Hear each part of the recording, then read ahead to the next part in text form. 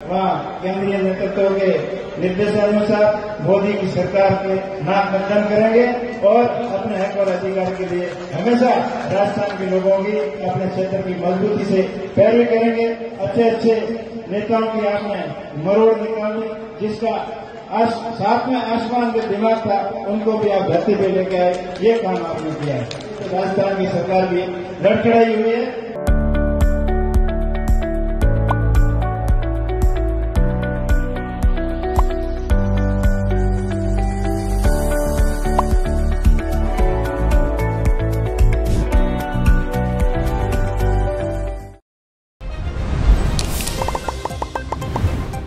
और लालू राम जी से तो आप सब परिचित हैं, आपके क्षेत्र के सबके सहते थे और सबको साथ में लेकर चलते थे।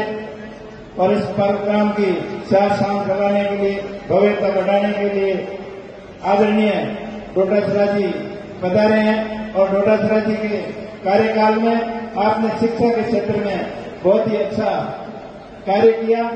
और करेंगे भी क्यों नहीं? क्योंकि शेखावटी क्षेत्र हमेशा शिक्षा के क्षेत्र में अग्रणी रहा है और मारवाड़ में भी शेखावटी से सीख ली है।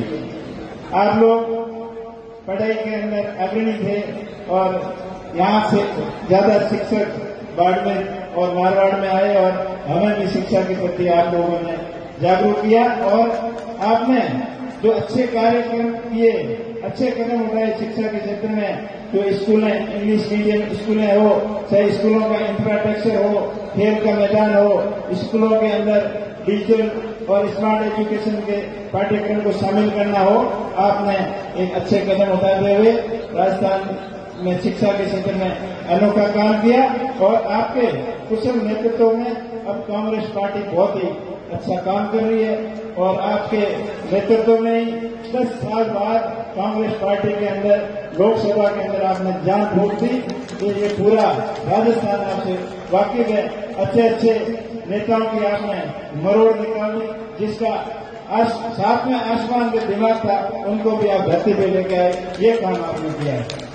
और हमें आशा है कि आपके उस नेतृत्व के अंदर कांग्रेस पार्टी बहुत आगे बढ़े और आने वाला समय, मैं आपको कहता हूँ कि आने वाला समय, कांग्रेस पार्टी का समय है केंद्र के अंदर भी देख लो मट्टी डूबते राज में आए और वह भी वैशाखी के ऊपर टिके हुए और यहाँ आपको पता ही है कि पर्सी की सरकार है, जो वहाँ वैशाखी सरकार सही ढंग से, सही समय में पर्ची भी नहीं दे पा रही है तो राजस्थान की सरकार भी लड़खड़ाई हुई है। और आप विपक्ष की जोरदार भूमिका निभाते हो और अभी आपने विधानसभा के अंदर देखा होगा पूरी सरकार को हिला के रखा है और उनके नाक में दम करके रखा है। और ऐसे ही आप आगे सबको छत्तीस कौन के लोगों को साथ में लेकर चलोगे, ऐसा हमें विश्वास है, आशा है।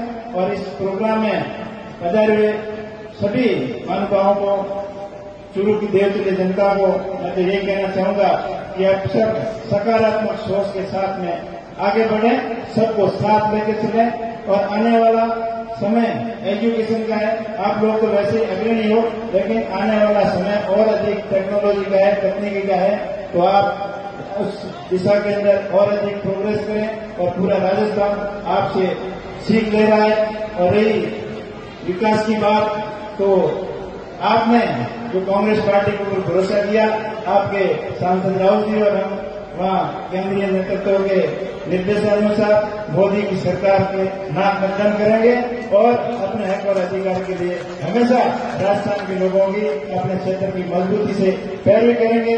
चाहे ईआरपीसी को केंद्रीय परियोजना का देना हो या डब्ल्यूआरसीपी का मामला हो, आपके जमुना कैनाल का मामला हो, हर मुद्दे को राहुल जी और मिलकर राजस्थान की पैरवी के अंदर कोई कमी नहीं छोड़ेंगे और आपने इतना कांग्रेस पार्टी के ऊपर विश्वास जताया।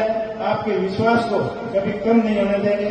और ये सब कांग्रेस पार्टी के कुशल नेतृत्व के कारण हुआ है और आने वाला समय पार्टी का एक बार पुनः देश के और समस्त लोकप्रिय परिवार का बहुत बहुत आभार, धन्यवाद।